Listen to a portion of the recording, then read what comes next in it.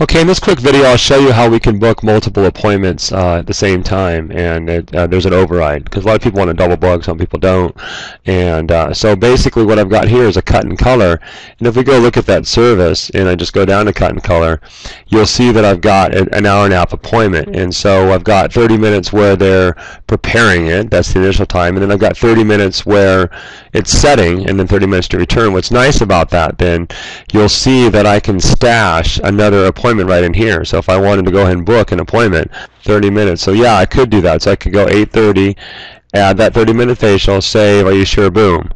And then now that's in there, right? I could also go and add um, at 8 o'clock and pick yeah, a, a different client and maybe I want to do a uh, a Brazilian, okay, and so I could do that, and that's going to ask me, are you sure you want to do that? Because I already have another appointment at 8.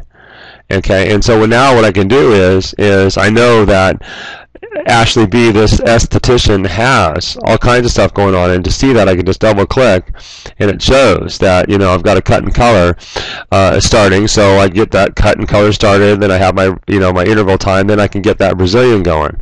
Um, so I mean, more than likely, it's probably going to be multiple cut and colors, but I just wanted to show uh, you know this as an example of how flexible it is, where you can override it. So you would know right here there's multiple, and click on it, and then you can drill down, and you can see all the stuff going on right because you can't really fit it you know on here. And so you can check them in check them out uh, right, right to the point of sale. Um, you can do everything from here. And of course it's going to track all the commissions uh, that's associated with that and ring them up under a different tickets so that you can track that as far as an invoice standpoint for your sales and you know hit the, the profit loss reports. And that's how simple it is